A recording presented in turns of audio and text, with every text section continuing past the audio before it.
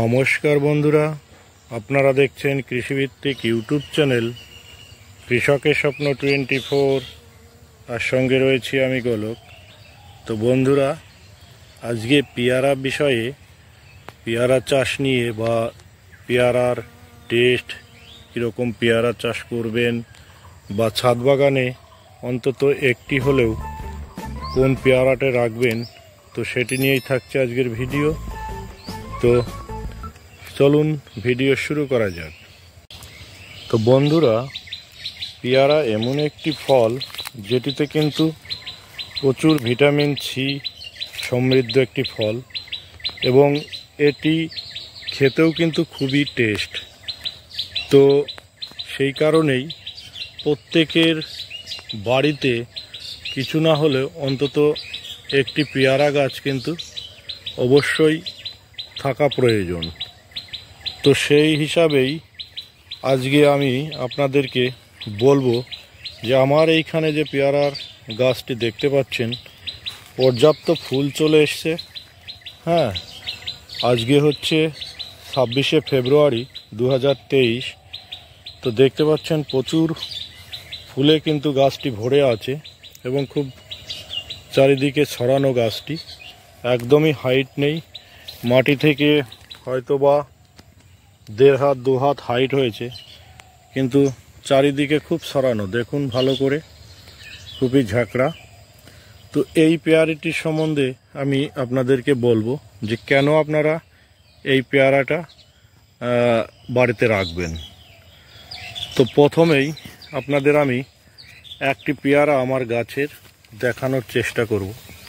দেখুন বন্ধুরা, এই হচ্ছে আমার পেয়ারার ছবি। কোনো প্যাকেট করা নেই, কিচ্ছু করা নেই। দেখতে পাচ্ছেন, পেয়ারাটার ওজন কিছু না হলেও মোটামুটি চারশো থেকে পাঁচশো গ্রামের কাছে তো অবশ্যই হবে।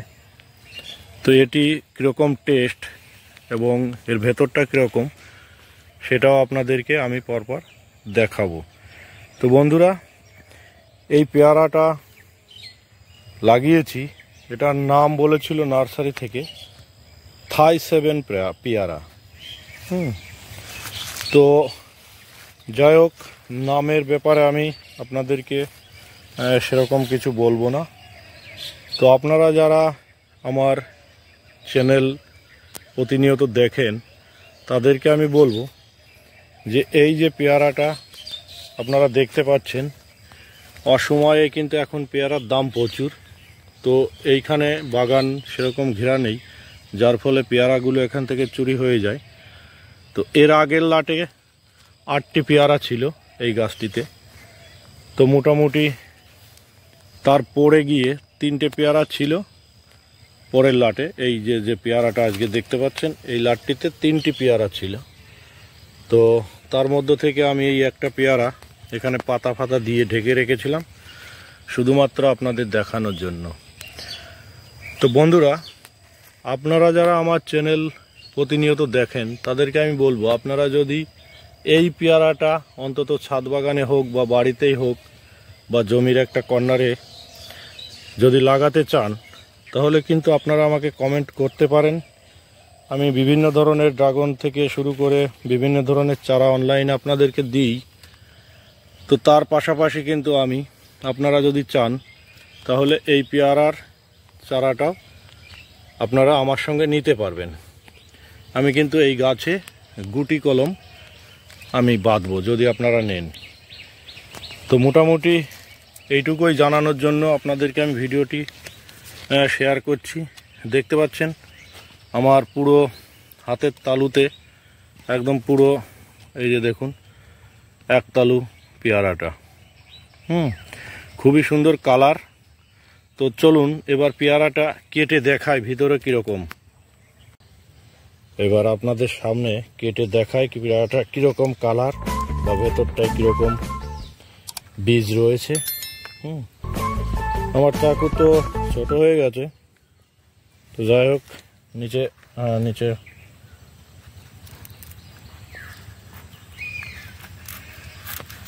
বাবা বাবা এখনও আরও কদিন রাখা যেত গাছে কিন্তু রাখতে গেলেই রিক্স চুরি হয়ে গেলে আর পাওয়া যাবে না। হুম। এই যে। হুম, দেখতে পাচ্ছেন বন্ধুরা? হুম, এই যে, একদম ফ্রেশ বীজ একদমই কম, সেই গোলাপি কালার ফালার সেসব কিছু না। সুন্দর কালার, দেখুন। হুম।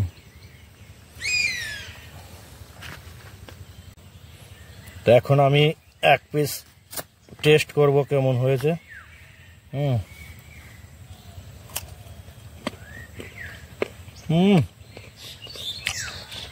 তো বন্ধুরা, খুবই টেস্ট হুম।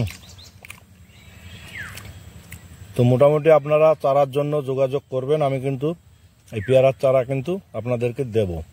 হুম।